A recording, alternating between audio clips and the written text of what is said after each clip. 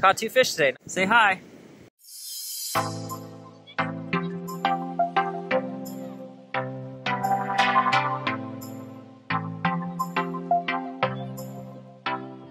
Alright, so we got that way. Got a lot of surfers that way.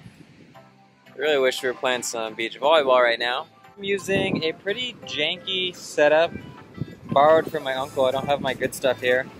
Uh, we just got a one ounce leader, got a bead, got a swivel, got a size 10 hook, I believe. I'm gonna try some of this uh, Berkley's Gulp. I know some people say to dry it for a couple hours on a paper towel. I didn't have time today, but we will do that next time. But let's throw this on the hook. I have it hooked on. I would have preferred to use one of those bait holding hooks, but uh, I didn't have one available today. I'm trying to, this is just kind of like make and do with what I got. Uh, yeah, so I hooked it in like this. Hope it stays put. I really hope that weight isn't too big because I'm not exactly sure what line test this is or what pound test this is and it looks a little weak and a little old. First cast today and we caught a fish. Wow. Talk about getting lucky. Getting lucky. Ah, oh, too funny. Too funny. Uh, so just my luck and I knew this was gonna happen. I was using too heavy of a weight and uh, didn't release the line fast enough and snapped it because this stuff, I, it's so old. Oh, this fishing line is just so bad. So this might be one of those one cast, one fish, leave.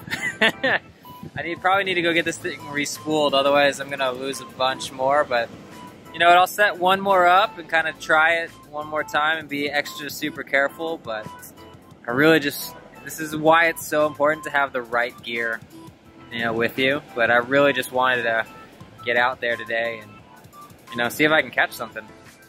Uh, what I'm using today for the hook, we got this Owner size 4 red. This that attaches to our swivel. We have a barbell swivel. Then you know, my weight, and this is the big problem, is I'm using weight that I would normally use with a lot heavier pound test, deep sea. Uh, I would even use way heavier than this, but uh, I didn't have any available on me at the house. Um, that's my problem. So this line, which is really old, just can't handle that width of the cast. I'm also using these uh, Seps Pro beads between the swivel and the weight. Makes a little bit of noise, gives a little protection.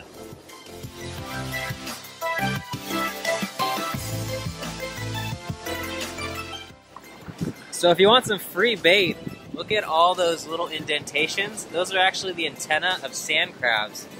Look at that. Oh, so you can just stick your hand in, and you see them and they kind of burrow into your hand. Oh, there, there's one. Oh, lost it. Come back. There's one right here. Here's a small one. See how I was trying to burrow into the sand? So we gotta find a big one that we can put on the end of a hook. Let's dig. Where's the big one? Come on.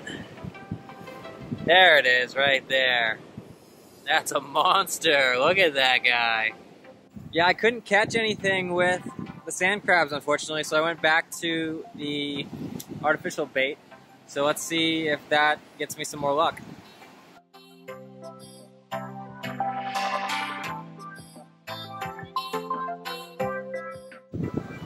All right, so I decided to do one more cast. You know, it's always that one more cast mentality, but we caught this beauty.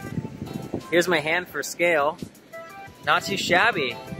So uh, yeah, this little janky rig that I had, little janky setup, actually worked.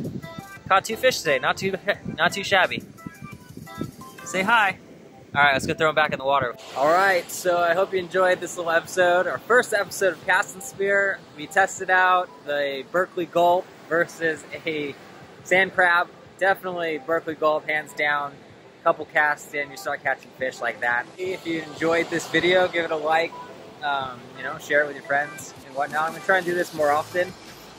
And until next time, yeah, keep those lines tight, and I'll see you later.